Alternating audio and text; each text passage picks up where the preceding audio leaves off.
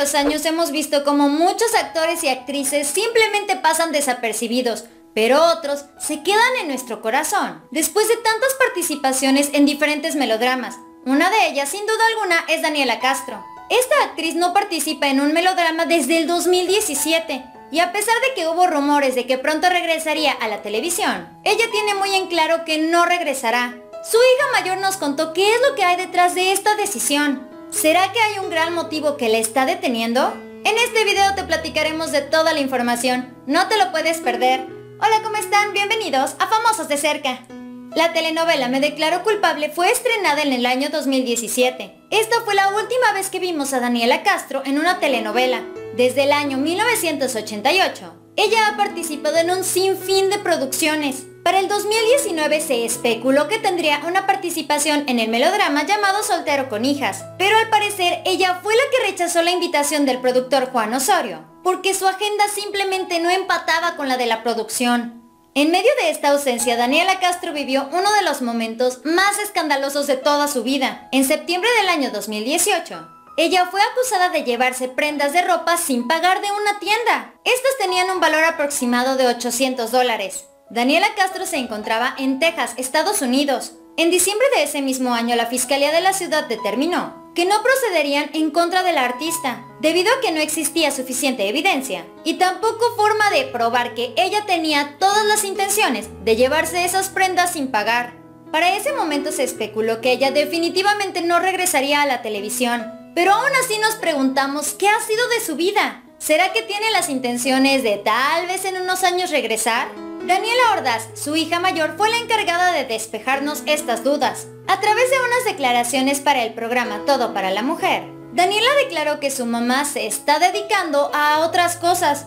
Ya sé, ya sé, la gran incógnita vuelve a ser, pero ¿cuáles cosas son? ¿Qué tan importantes deben de ser esas actividades que la actriz las prefiere por encima de la televisión? Su hija de 17 años aseguró y nos calla la boca a todos, diciendo que ella está dedicada a la familia. Ella se encuentra perfectamente bien, pero su principal enfoque son sus hijos. Daniela Castro está casada con Gustavo Díaz Ordaz III, nieto del expresidente de México Gustavo Díaz Ordaz. Ellos unieron sus vidas en el año 1999 y además de Daniela, de 17 años, ellos también son papás de Alexa y Gustavo Jr. de 15 y 8 años respectivamente. De los tres hijos que tienen hasta este momento, es la hija mayor quien ha querido seguir los pasos de su madre. Actualmente esta joven forma parte de la nueva telenovela de Juan Osorio llamada ¿Qué le pasa a mi familia?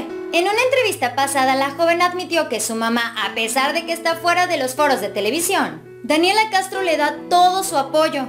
La hija de la actriz aseguró que ella la aconseja, la apoya y le da su opinión. Además admitió que el mejor consejo que le ha dado hasta este momento es que sea feliz y que disfrute su carrera. Daniela Castro es hija del cantante, músico y compositor Javier Castro Muñoz, con quien realizó varias giras y conciertos al lado de sus tíos, Benito, Gualberto, Arturo y Jorge Castro, mejor conocidos como los hermanos Castro. Daniela es prima de la también actriz y cantante, Romina Castro. En 1986, Daniela Castro debutó en la televisión, en la serie juvenil Cachún Cachún Rara, para 1998 ella tuvo su primera telenovela, compartiendo créditos con Jacqueline Andere y Salma Hayek en la producción Nuevo Amanecer. Para 1989 ella estaba coprotagonizando la telenovela Mi Segunda Madre y ese mismo año se integró también como coprotagonista de la telenovela Balado por un Amor, en 1990 realizó Días sin Luna y para 1991 obtuvo su primer rol protagónico en la telenovela Cadenas de Amargura, un éxito total. Después de esto ella se quiso tomar un pequeño descanso porque se dedicó a estudiar música con su papá. Para 1996 ella regresó con la exitosísima telenovela Cañaveral de Pasiones. Gracias a esta producción ella se ganó el premio TV y Novelas a Mejor Actriz Protagónica del año 1996 a partir de ese momento, Daniela Castro no descansó para nada. Casi cada año realizaba una nueva telenovela. De repente tenía sus descansos para dedicarse de lleno a sus hijos, pero aún así regresaba con toda la actitud a la televisión. Ojalá que este retiro sea igual que los pasados, que nada más dure un ratito y ella pueda regresar a la pantalla chica.